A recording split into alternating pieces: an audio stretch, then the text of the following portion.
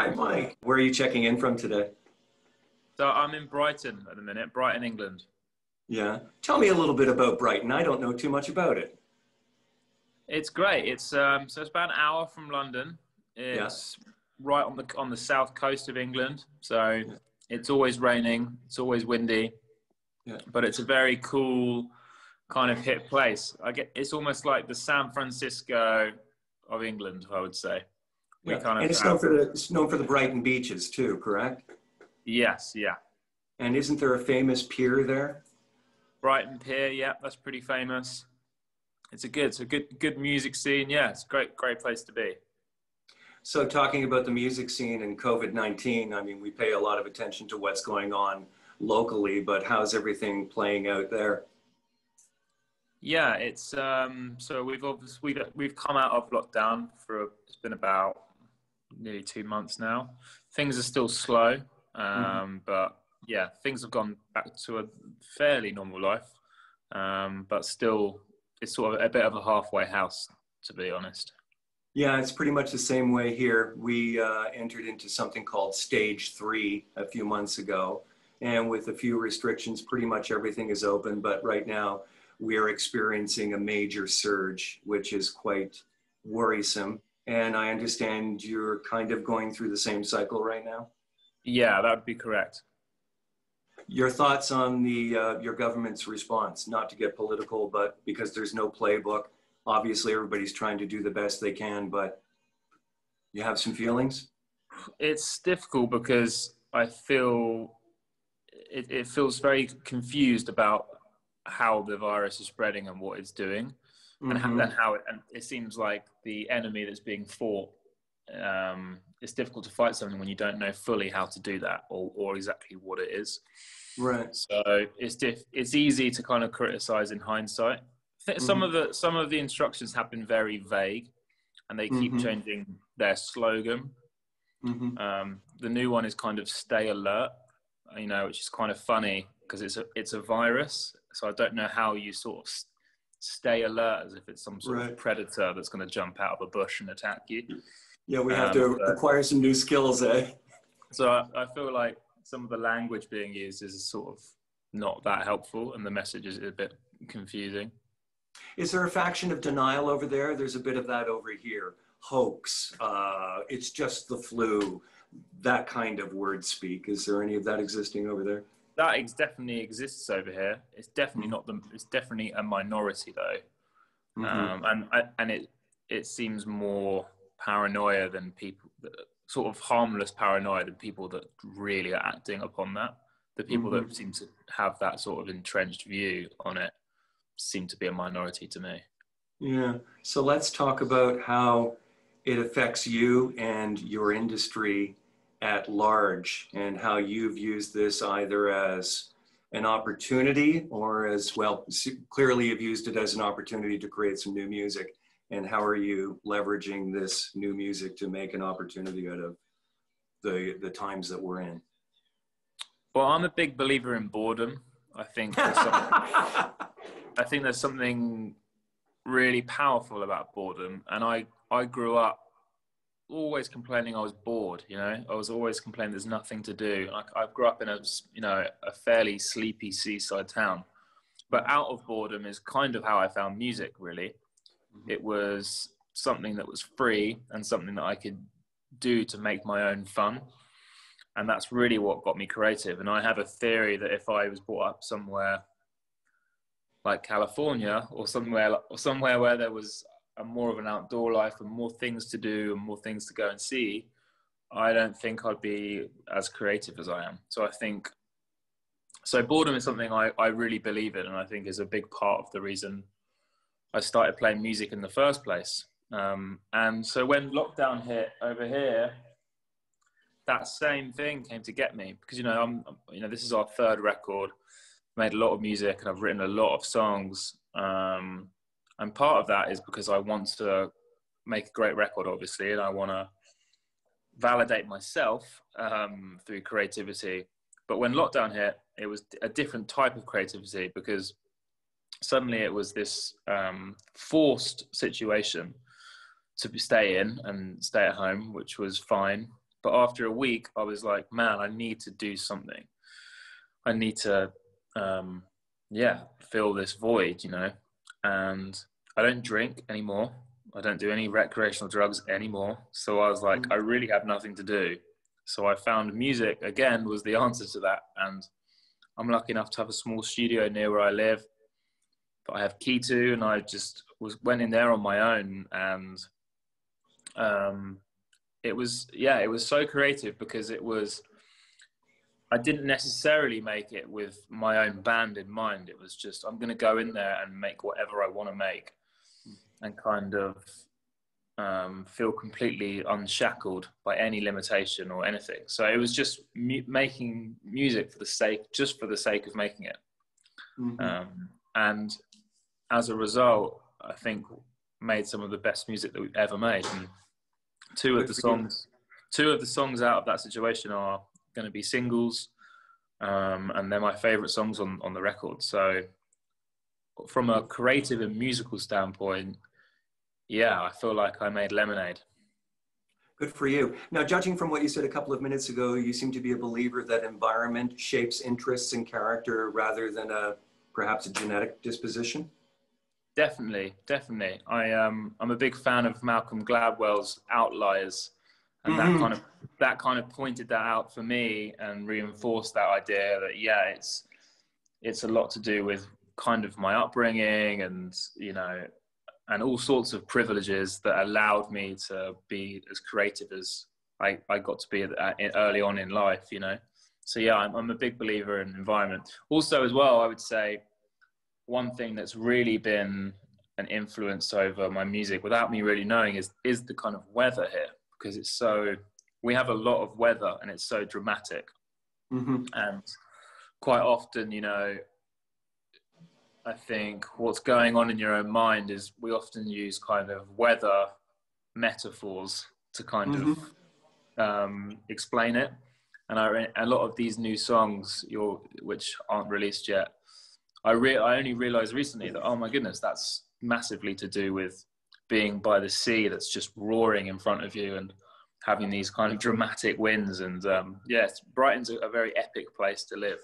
Yeah, there's a funny uh, there's a funny saying about weather for people in New England. Uh, they ask, "What's today going to be like?" And the answer is always, "Give us ten minutes." Yeah, perfect. Yeah, yeah, yeah. So speaking of uh, uh Malcolm Gladwell, do you uh, do you think you could uh, trace back to when you hit your ten thousand hours? Good question. Um, it's so hard to um, quantify like how much time I've put in, but I, yeah, mm-hmm. it, has got to be over ten thousand hours.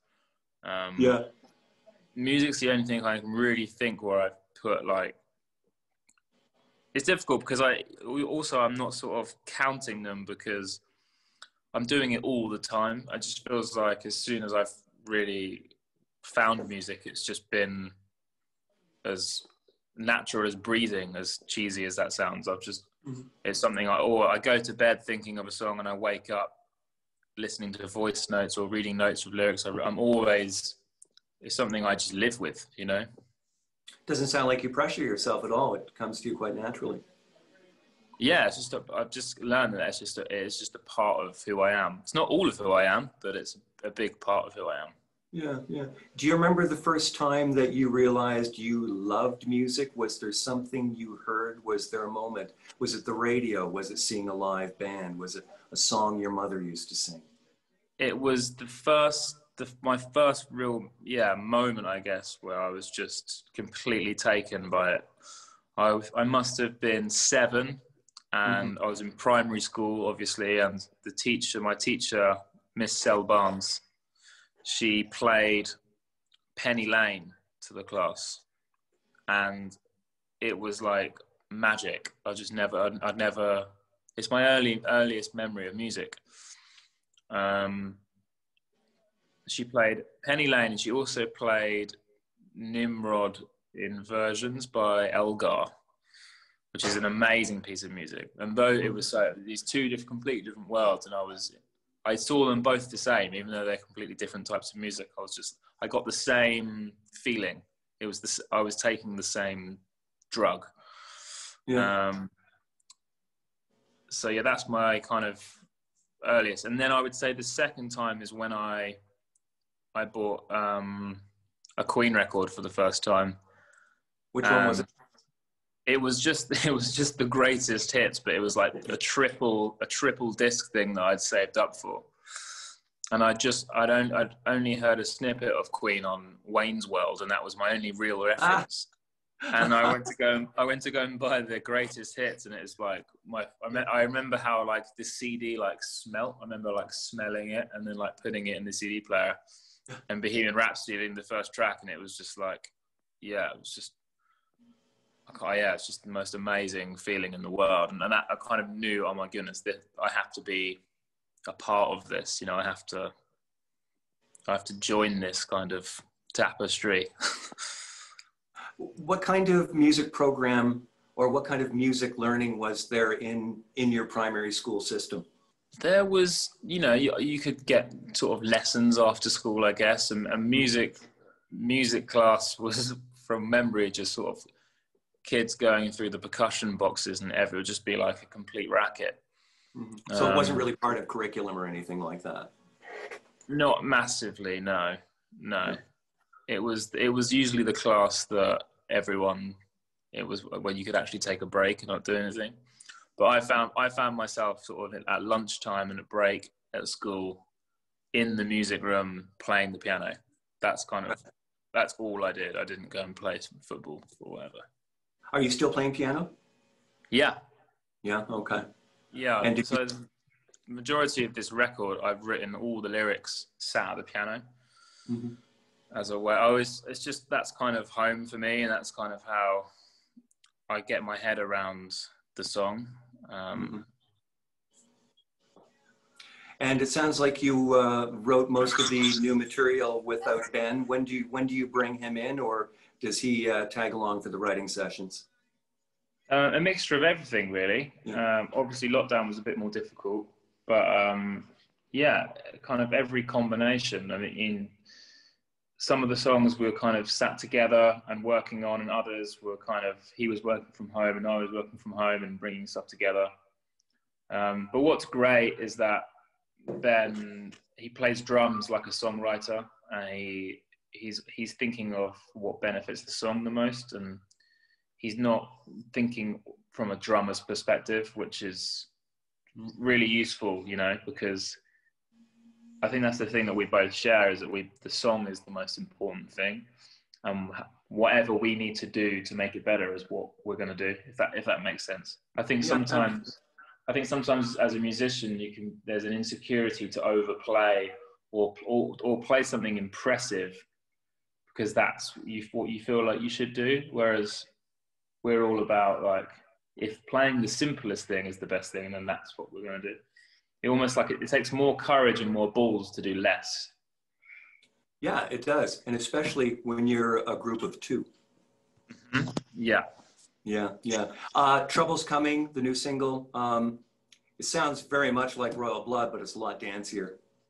yeah, yeah. That's a fair enough um, review. Yeah. And how uh, and the flavor on the rest of the record similar?